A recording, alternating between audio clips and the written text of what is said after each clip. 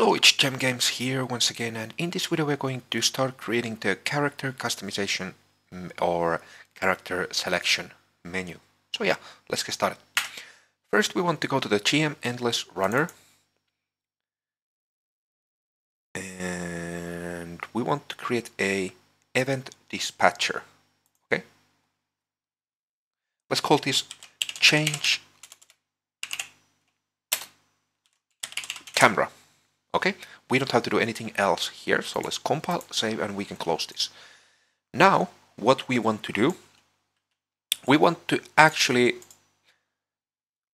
uh, add a new camera, camera actor. Okay, now let's go to this old camera, camera actor. Let's, this is the main menu camera, so let's actually rename it. Let's call it main menu and let's rename this camera to uh, character selection.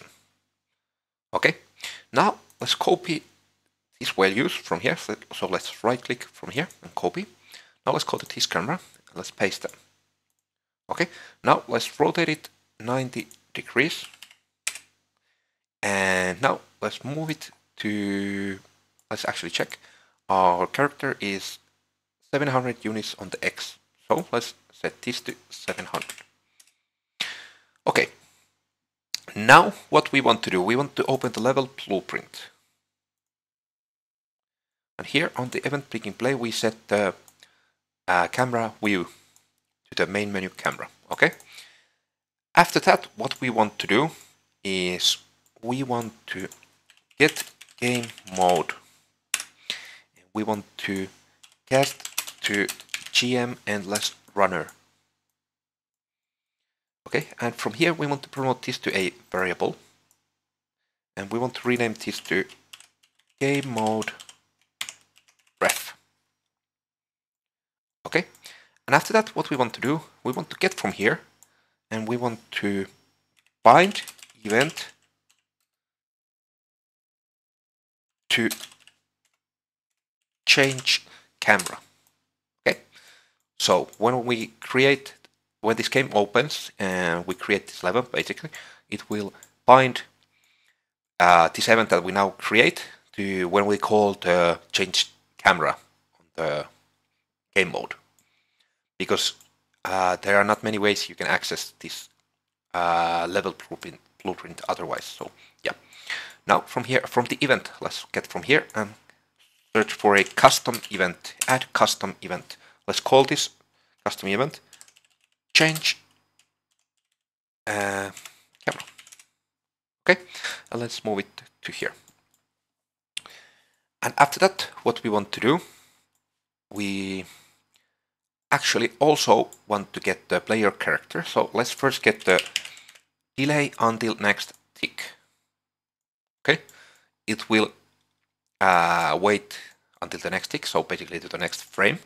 And after that we want to get player character and we want to cast to third person character like this. Okay? This delay is here just for the uh, because uh, the player character might not have been uh, loaded before the level blueprint. I don't actually remember how it, uh, which is the like the order, but this way it will, uh, casting will always, uh, it will never basically fail. So this works. And after that, we want to just promote this to a variable also. Let's rename this to layer uh, ref. Okay. Now what we want to do. Here on the change camera, what we want to do here is we want to first get player controller.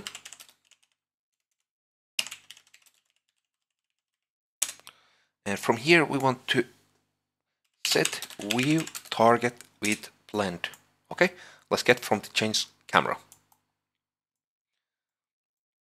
And the new view target let's get from it and get a select node like this now uh, we actually have to go back to the game mode for a second. So let's compile, save, and let's go to the third person map and to the GM endless runner. We want to add here a variable. Let's call this variable menu camera index. Let's change the type to integer. Let's compile, save, and we can close this. So now we can get the game mode ref.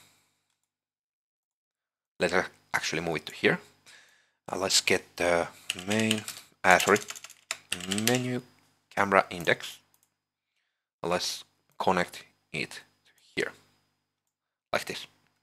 Okay, let's compile. Now let's go back to the third person map. Let's select the main menu camera. Let's check that it's selected.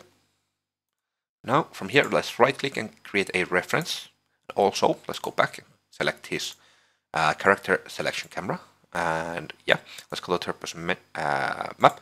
Let's right click and create reference. And now from the option zero, we want to connect to the main menu like this. And from the option one to the character selection. Okay, now let's set the blend time to 0.5 seconds. And after that, we want to create a switch on integer int. Now we want to get this value from here and add a reroute like always. Let's actually align this. So Q. Let's add two pins, 0 and 1. And what we want to do now is to create two new custom events. So under here. So let's create a custom event.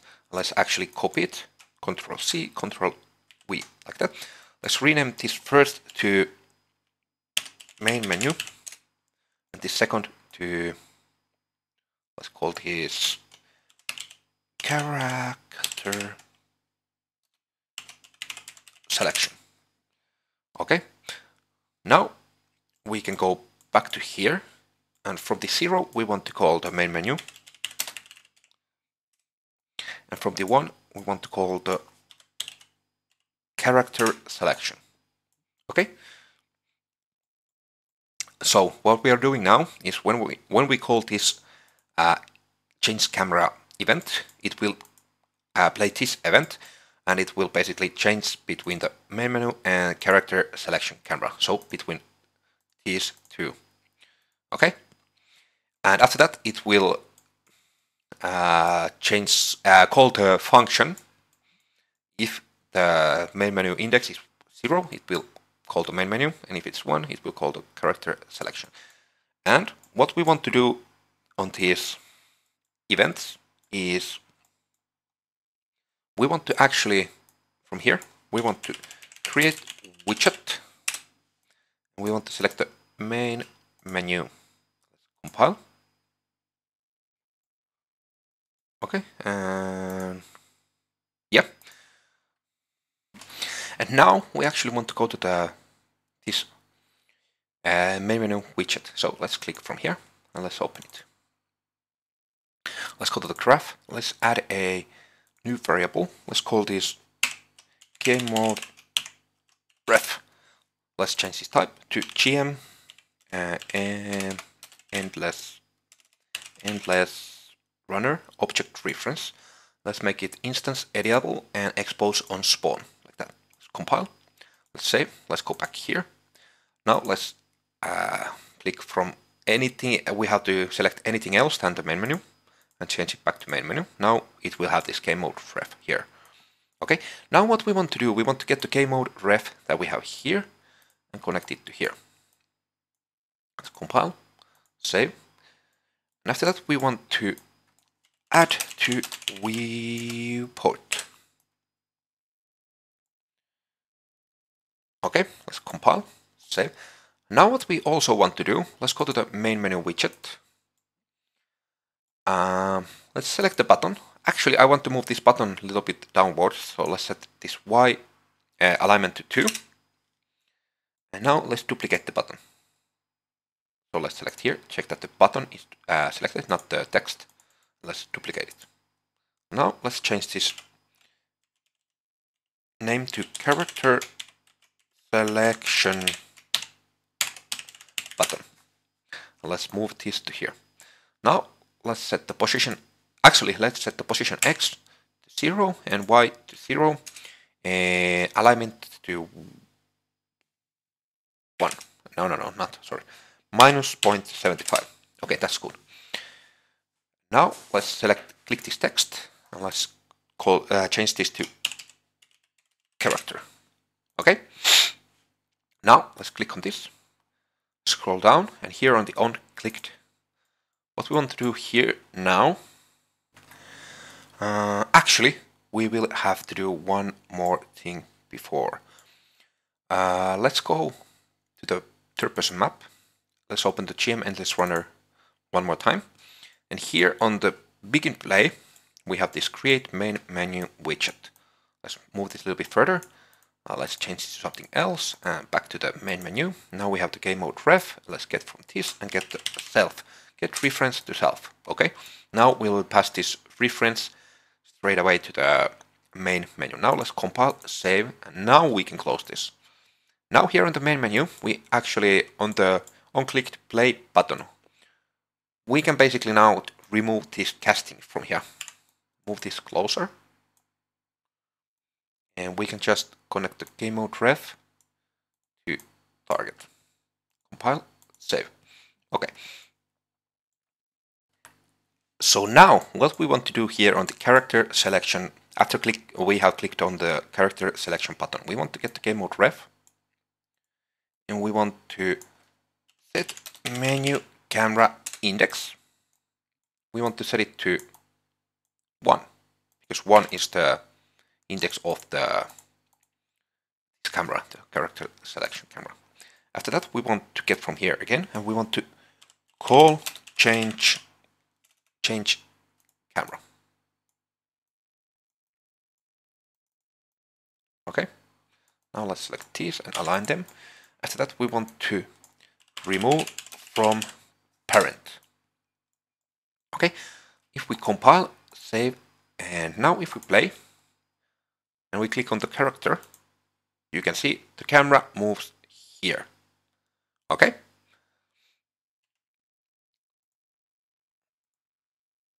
Okay, so yeah. And now what we want to do is we want to actually duplicate the main menu widget. So let's duplicate it and let's call this character selection. Let's open it. And what we want to do here, we want to actually delete the high scores. So let's select both of these and delete. Let's select the coins text and the value and let's set the offset top to 50. Now here we want to delete this play button. This character button we want to move this. So let's actually first rename it. Let's call it back button. And let's move it to let's see. One no no no 1.75. I think that's correct. Yeah, 1.75. Now let's select the text and let's change it to back. Okay, now let's go to the graph. And let's delete, let's actually compile so we can see, okay, this, let's delete, we don't need that anymore. And yeah, now here on the on-clicked back button, let's set the menu camera index to zero. And then we want to do everything else like before. Okay, now let's compile, save, and we can close this. Now let's go back to the main menu. Uh, sorry, third person map, yeah. And here on the character, uh, on this character selection uh, event, what we want to do is we want to create widget. Create widget, like here. And we want to create the character selection character selection, yeah. And we want to get the game mode ref and connect it to the game mode ref, exactly like here. then we want to add to viewport. Okay, compile, save, and let's actually try. So if you click this, we go here, we go back, we go back here. Okay, it's basically already working somehow. Now let's make the character turn to us when we are here. So here on the third person map, what we want to do, want to create yet another custom event. Oh, event like that. And let's call this rotate a character. And here on the rotate character, we want to add a input. Let's actually move this whole thing a little bit further down, like this. And this input will be called like, um, let's call it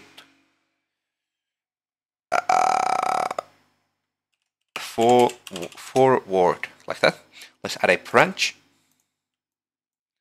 condition to the forward, like that. Now we want to create a timeline, add timeline.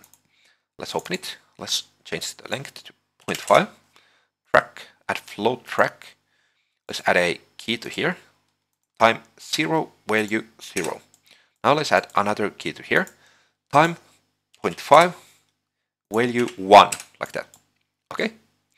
Now let's click on here, right, right click on here and click auto, so it will smooth it out. Okay. Now we can compile, save and close this timeline.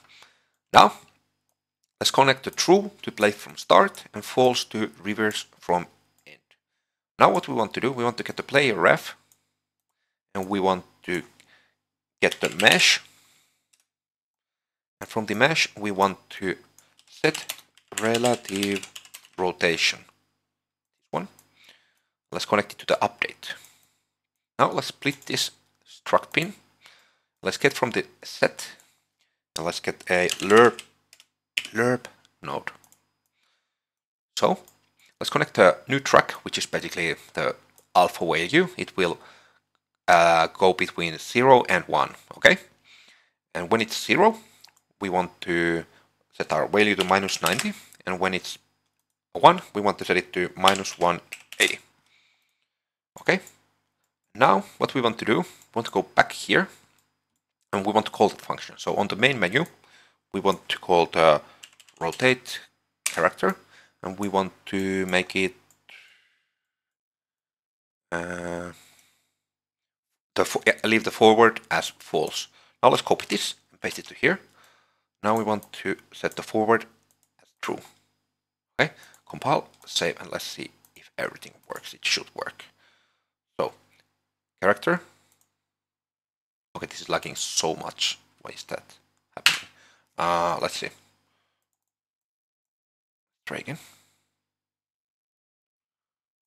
Okay, this is lagging so much.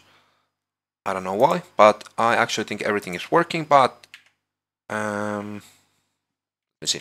So yeah, I don't know what is happening with my computer right now, but it okay, it is working now. So character now we are on the character selection menu. We cannot do anything here yet, but we have the menu uh, ready. So, and we can play. Everything works. So yeah, uh, on the next video we can uh, start creating the selection system or maybe create it com uh, completely. I don't know yet how long it takes, but yeah. So it is working right now. So I think that was actually all for this video. If you liked what you saw, please click the like button and subscribe for more. And yeah, hope you have a great day and see you in the next one. Bye.